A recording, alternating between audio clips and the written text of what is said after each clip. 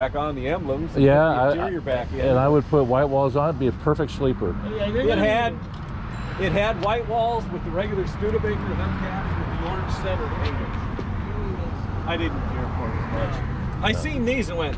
White walls belong on certain cars. I have a set of disc. I have a disc brake kit for it, and it's easy to put on. I just have got to send for the. Uh, Oh wow, ghost flames! I didn't even see those. I know. I didn't know it when I bought the car until I got. You didn't know you had those until after you had the car, right? Got an offer on the radiator again? What's that at? Where's you got it offer at? What's it on? Offer up? Yeah. Yeah, What radiator is it?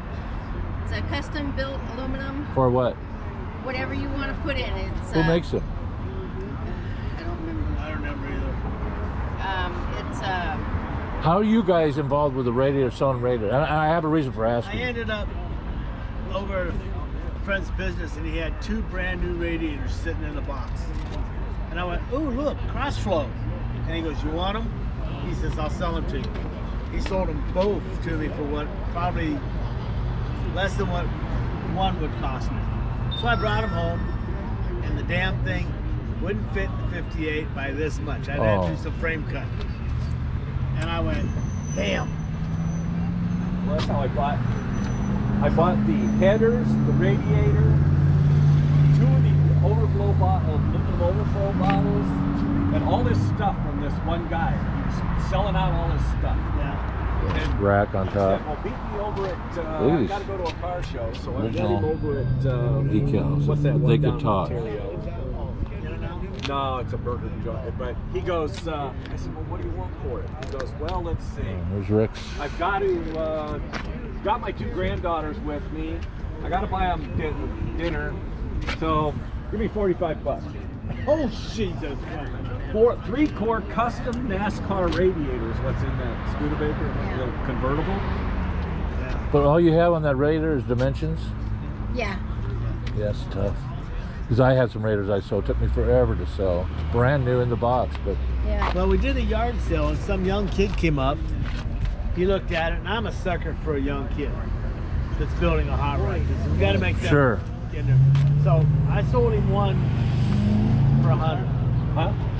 And he was No. just ecstatic. if you get a 100, you get good money for it because you just, they're so hard to sell Yeah. because uh, uh, they can't be repaired. You The know? aluminum was. Yeah, no, you can't repair them. away.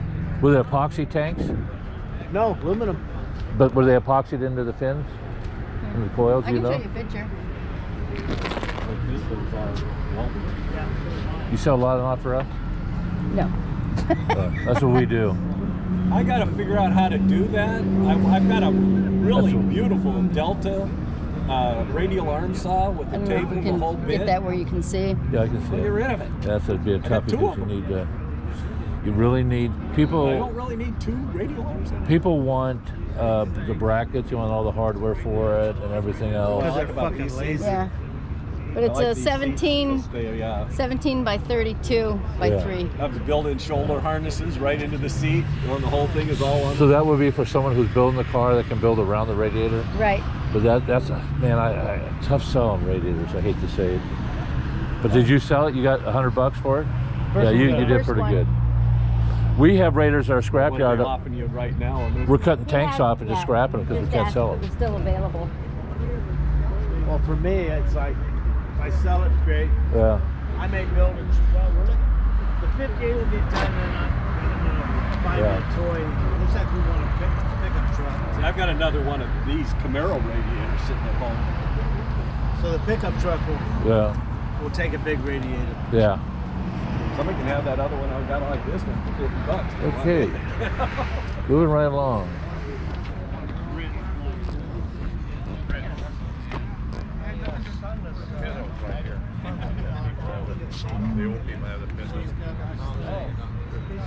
The What?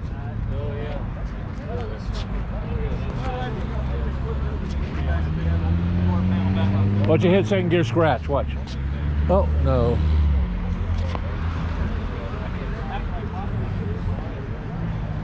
Rough. Okay. Well, guys, a lot of turnout today. Good turnout. Burn up the wiring or catch fire. You do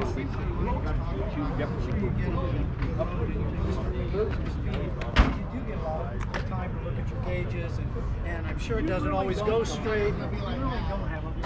I think the reason he did was because he was driving the truck.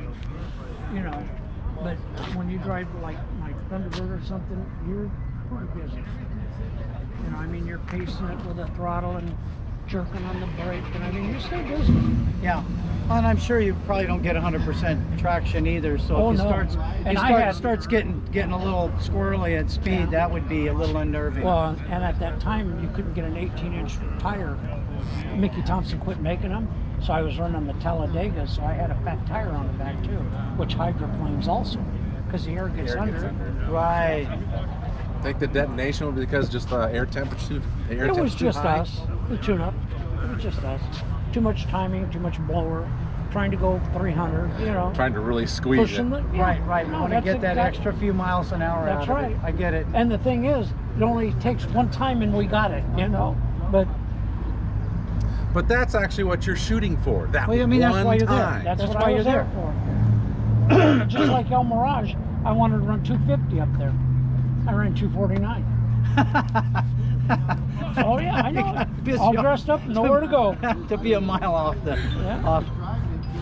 Hit the steering wheel on the way home. One Oh. damn mile. I've always wanted to be out there. We, we used to go out there and ride our dirt bikes and stuff, and I've always wanted to be out there when the when the uh, the group was out there with running.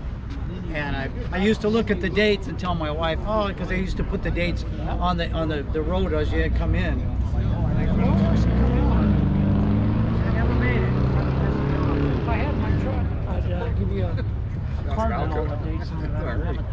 Well, my wife decided that we're not going to the to the desert anymore, so we sold all the shit off of the pods and the, you know, the toy hauler and all that shit. So I don't even. I could go out as a spectator, I suppose. It's an easy drive out. Oh no, it's a nice drive actually. I mean, except that last point where you you come down the hill and we make the turn. You mean it? You go up the back way, Uh, what is it? Is it not Column Pass, 138? Yeah. You go over the hill. Orange Blossom Highway or something like that? Yeah, something like that. But you go Pearblossom. down the Pearblossom. hill, you go down a hill, it's pretty steep, and then you got to make that turn. And when you're towing a trailer and stuff, you got to be careful. You got to Oh yeah. to you got to know where you're going, and it comes on you quick. Yeah. That's Highway 138. So you just you just when you come over that hill, you just get off the throttle, and I just more or less coast. So, Mike, when's racing again? Well, At, the at Corvic, I don't know yet. You don't know yet? I thought you guys were just Well, out they, there. they just said, but I don't remember when. Okay. June 15th is the big day. What's that? No more masks. No more masks. That's what they're saying. Who knows? They might change that. But that's LA. So. Well, it's California. Is it no more masks for ugly people or just everybody? You should probably keep your mask. I should keep. I, that's what I No, I said. I, think I got my pretty- mask. The pretty people should be able to take I their put it right over my eyes. then I don't see no ugly. I don't see no evil. The cracks you up is the, driving down the street with somebody in the car with the windows up and a mask on. Right, right. Those are the people.